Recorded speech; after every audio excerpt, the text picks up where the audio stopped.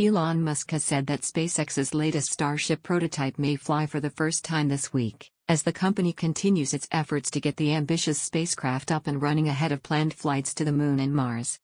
Starship is SpaceX's proposed spacecraft to transport up to 100 humans at a time, or maybe more, to the Red Planet. The company has been working on prototypes to find the right design that will work for transport. Multiple iterations have come and gone so far, with several explosions along the way. But in a tweet Tuesday 21st of July, Musk said the latest version, SN5, or serial number 5, will attempt to fly later this week. Of course, it won't get anywhere near Mars, or even space. The first flight of SN5 is expected to be a 150 meter, 492 foot, hop. You might recall that an earlier test craft called Starhopper successfully performed such a flight last year. But SN5 is a much larger vehicle that is designed to be capable of an orbital flight. It has been a struggle to get the SN series of prototypes off the ground.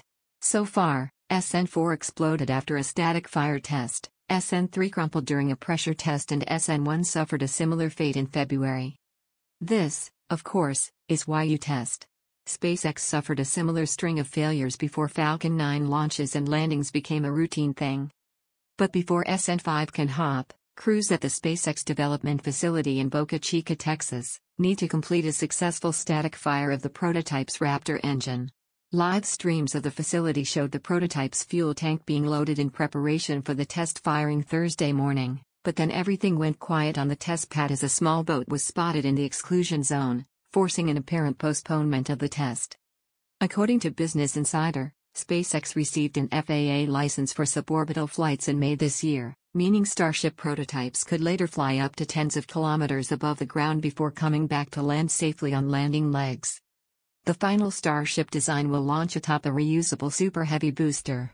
Together, the two vehicles will use 41 of SpaceX's innovative Raptor engines, towering a combined 120 meters above the ground bigger than any rocket in history. Starship, for its part, measures 55 meters tall.